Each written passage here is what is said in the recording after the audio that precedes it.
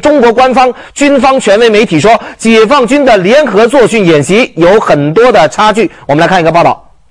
据大陆官方新华社的消息，解放军代号“铁拳 2009” 的雀山师级规模的演习在济南军区进行。这是一场复杂电磁环境下的演练，对抗了双方在几个小时的电磁对抗当中，通讯雷达、光电网络对抗战和电磁频谱的管控行动备受考验。另外，解放军的南京军区的某摩步旅实施了解放军全军的首次合成营的机降演练，在陆航团的配合下，合成营实机实地的机降作战，探索资讯化条件下机降作战最新的战法和训练方法，并且由步兵、炮兵、防化通讯兵等十多个兵种参与。另一方面，对于大陆解放军近年来的多项大规模的演习，都强调联合训练，同时针对解放军从机械化向资讯化联合训练当中存在的突出问题，解放军报专门有文章指出，解放军目前第一是思想观念之后，认为各种军种指挥员坐在一起就算联合指挥，有解放军的军舰飞机就算是联合训练，把合同混同于联合，或者跳不出军种和部门之间的圈子，局部和全部军种和联合处理不好。解放军报这篇提到解放军的联合训练当中存在问题的文章，专门提到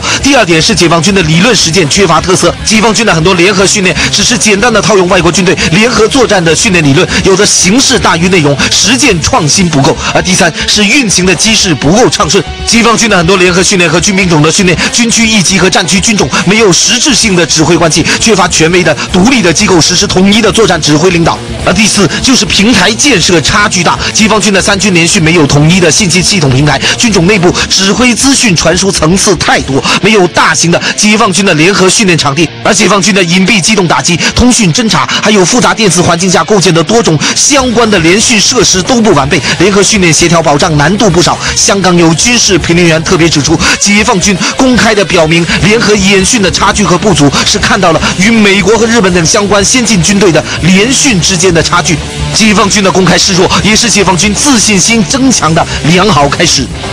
好，看过片段呢，看到是中国大陆最权威的军方的媒体《解放军报》呢，高调的指出，解放军现在联合的演习演训很多，但是存在四大不足啊，与外军有很多的差距。到底有什么差距呢？我们换一个角度看看，看看台湾方向专门研究解放军的齐乐怡先生有什么见解。其实我们知道，您是长期研究解放军的，所谓联合作战与美日台军队比较，到底有什么不足？这个中国大陆的一体化训练是一个非常重要的呃军事转型的一个重要的部分。所谓的这个转型，就是从协同性的联合作战转向一体化的联合作战。这个呢是一个信息化的产物啊。它的重点是强调什么呢？能够把作战要素，就是 C4I SRK，就是监视侦察、指挥控制，到联合打击、后勤保障这些作战要素呢，能够各。能够与各作战单元，包括团啊、营啊、团啊、旅啊等等啊这些作战单元，能够整合在一起，在一个平台上来进行这个联合的作战，这是一个很大的特色。台湾怎么说都还有一个博胜专案，博胜专案就是说有一个一个统一的信息化的系统载台，而且里面还有数据，就是对这个这个我们的这个这个潜在敌人的数据啊参数也都在里头。中国大陆似乎缺乏这样一个统一的信息平台。数据可能也许也不够，跟美军的差距那当然更大了。美军最大的优势在于，他现在已经进入了网络中心战了，而且他有实战的经验，有这么多的实战经验去验证他这个网络中心战是否有效。所以，中国大陆一体化的训练还有一条漫长的道路要走。好，两位都提到了中国大陆现在解放军呢暴露出来的联合作战的不足，这个话题呢我们先放一边，看看美国公布的最新的情报。他们说呢，全球到底有多少核弹呢？美国是全部情报掌握的，特别中国大陆解放军大约有两百四十枚核弹，分布在八到十四个解放军的发射阵地。美军到底是不是全部掌握呢？看一个片段。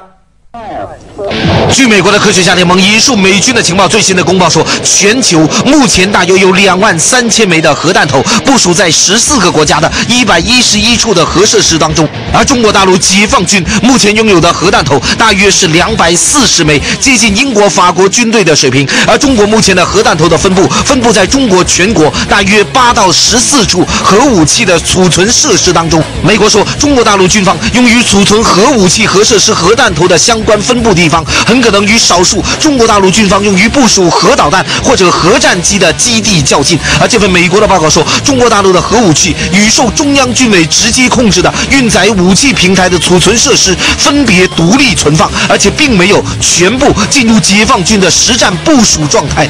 美国的这份报告还说，俄罗斯军方目前有一万三千枚的核弹头藏在四十八个永久性的核武器的储存点，最多的时候达到五百个核武的储存战略处。